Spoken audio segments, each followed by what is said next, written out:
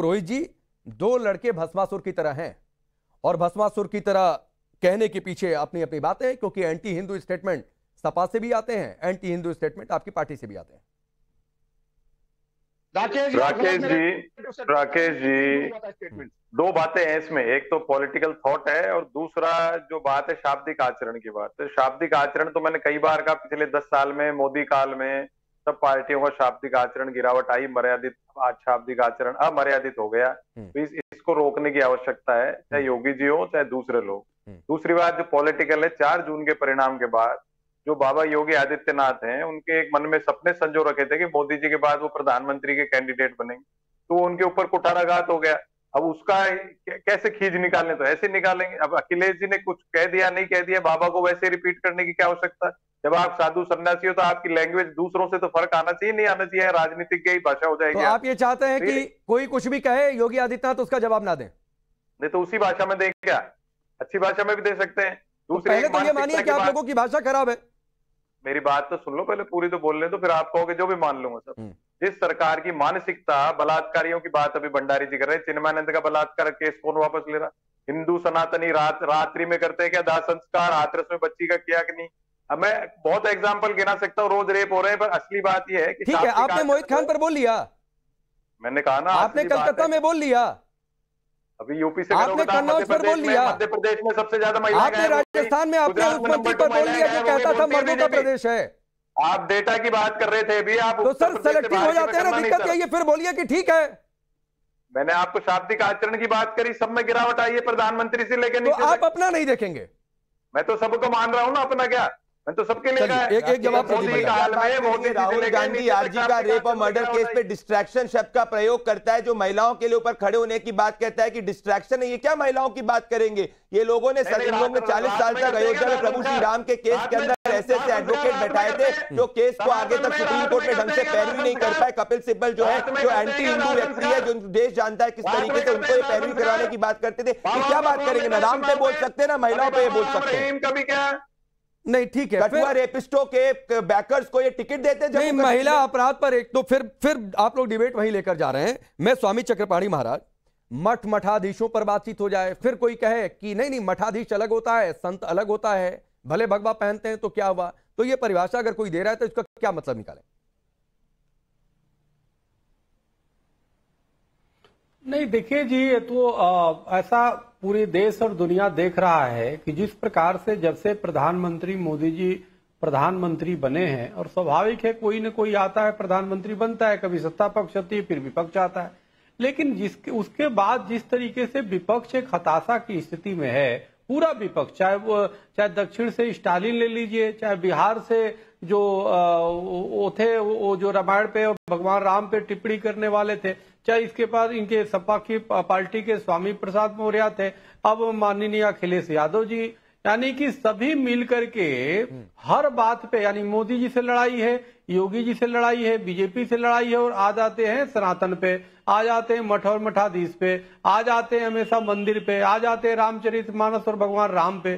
तो ये निश्चित रूप से हताशा दिखा रहा है। और ये समझ नहीं पा रहे खुद भी कि जिस हिंदुस्तान में बैठे हैं, जो राम और कृष्ण की धरती है, यहीं पे उनका विरोध करके, यहीं पे भगवा का विरोध करके, आखिर मठों में बैठे हुए जो पीठाधीश्वर है, संत है, जो लाखों की संख्या में, उन्होंने क्या बिगाड़ा है भाई? आपके वो विरोधी तो है नहीं। आप तो जब चुनाव आता है तो जाकर के तुरंत आप मठे मंदिरों में आशीर्वाद लेने लगते हो। और इस चुनाव नहीं रहता है तो मठाधीश और माफिया और गुंडों को एक साथ जोड़ने लगते हो। किसी मौलाना को तो नहीं जोड़ा किसी पादरी को तो नहीं जोड़ा।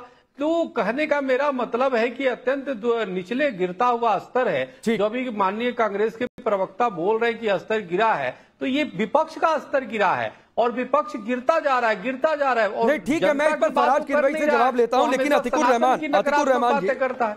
जो बातें हैं कोई साधु संतों को कुछ बोल दे सनातन पर गाली दे दे कोई गणेश पांडाल पर पथराव कर दे कहीं कुछ हो जाए तो इससे एक खास वर्ग का मैं सीधे पूछता हूँ मुस्लिम वोट बैंक का सेंटिमेंट सेटिस्फाई होता है क्या? क्योंकि ये भ्रम तो है विपक्ष को क्योंकि बार बार इस तरीके के स्टेटमेंट आते हैं। जी राकेश जी मैं चाह रहा था कि आप यही सवाल मुझसे करें हम्म।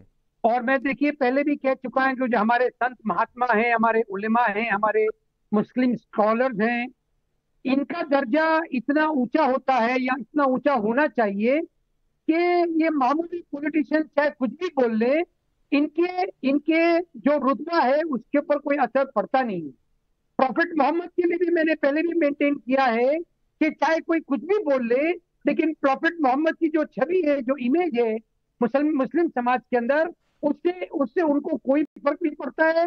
और हम जो है स्कॉलर हम इस बात का जवाब देने के लिए तैयार बैठे हैं कि भाई कहाँ पर वो गलती कर रहे हैं प्रॉफिट मोहम्मद या किसी भी ऐसी हस्ती को गलत बोलने में। यहाँ पर सवाल ये है राकेश जी कि आपने अंदाज़ा कैसे लगा लिया कि अगर कोई संत महात्माओं को, हिंदू संत महात्माओं को गलत बोलेगा, खराब बोलेगा उनकी छवि बिगाड़ने की कोशिश करेगा तो मुस्लिम वोट बैंक नहीं नहीं अतिकुर रहमान जी मैंने अंदाज़ा नहीं लगाया सर। और ना मैं ऐसा मानता हूँ। ये मैंने सिर्फ़ आपसे सवाल पूछा कि अगर कोई तुष्टिकरण की पॉलिटिक्स कर रहा है कोई इस तरीके के स्टेटमेंट देकर हिंदू धर्म को सनातन को गाली दे रहा है तो मैं सिर्फ़ ये सवाल पूछ रहा हूँ कि वो क्यों ऐसा कर रहा है? क्या वो ऐसा इसलिए कर रहा है क्योंकि इससे मुस्लिम वोट बैंक खुश हो जाएगा? राकेश जी वो करते रहिए लेकिन मैं आपको आश्वासन दे रहा हूँ हम्म। कि मुसलमान उस अखिलेश यादव को या उस कांग्रेस पार्टी के नेता को या किसी को भी इसीलिए वोट कभी नहीं देगा कि वो हिंदू धर्म गुरुओं को किसी तरह से नीचा दिखाए इसी तरह से मेरा ये मानना है हम्म। कि जो महाराजगिरी में महाराष्ट्र में प्रॉफिट मोहम्मद के लिए अनाप शराब वक्तव्य कहे थे उससे हमारे हिंदू भाई जरा भी उनको नहीं नहीं वो गलत है। आतिकुर रहमान जी प्रॉफिट साहब के खिलाफ मोहम्मद साहब के खिलाफ कोई कुछ भी आपत्तिजनक बोलेगा वो गलत है मैं इस मंच से कह रहा हूँ। इस लाइव शो में कह रहा हूँ उसको कोई समर्थन नहीं कर सकता है। और जो समर्थन करेगा वो मानसिक तौर पर दिवालिया है मैं बिल्कुल उसके साथ नहीं हूँ। लेकिन लेकिन मैं जो सवाल है मैं उस सवाल पर वापस लौटता हूँ फराज की दुबई साहब। जो स्वामी चक्रपाणी महाराज कह रहे थे आप लोग जानबूझ कर देते हैं। मैंने पर्सनल वाला सवाल पूछा आप कह रहे हैं पर्सनल नहीं होते हैं लेकिन मठाधीश माफिया में ज़्यादा फ़र्क नहीं। योगी जो कपड़ा पहनते हैं कपड़े पर चले जाते हैं शिवपाल यादव कह, कहते हैं कपड़े संतो माला पहनते हैं लेकिन नहीं है। डिंपल यादव 2022 में कह चुकी हैं जंग का रंग वही होता है जो योगी कपड़े पहनते हैं। कुछ दिन पहले बुलडोजर चलाने की बात उदित राज ने कह दी थी। बाद में पलटकर माफ़ी भी मांगने लगे थे कि गलती से गेस्ट हाउस की जगह हमने राम मंदिर बोल दिया था। तो सर ये नियत दिखाती है जो बार बार ऐसे स्टेटमेंट देते हैं कि आपका टारगेट कहाँ है? देखिए देखिए राकेश जी मैं मैं आपसे फिर से ये बोले दे रहा हूँ कि जो नैरेटिव भारतीय जनता पार्टी और कुछ लोग अगर ये सेट करना चाहते हैं तो जनता ने 2024 में उत्तर प्रदेश में जवाब दे दिया है। हम मैं 2022 में क्या था? भारतीय जनता 2017 में क्या जवाब था? अरे सर अरे सर ठीक है दो हज़ार दो हज़ार अरे सर 2017 में हमको मैंडेट नहीं मिला। हम नहीं मिला ना सर। करते हैं। 2022 में भी नहीं मिला 2019 में भी नहीं मिला। था। हाँ हाँ दो हज़ार बाईस में भी नहीं मिला नहीं हाँ, मिला मैंडेट ठीक। नहीं मिला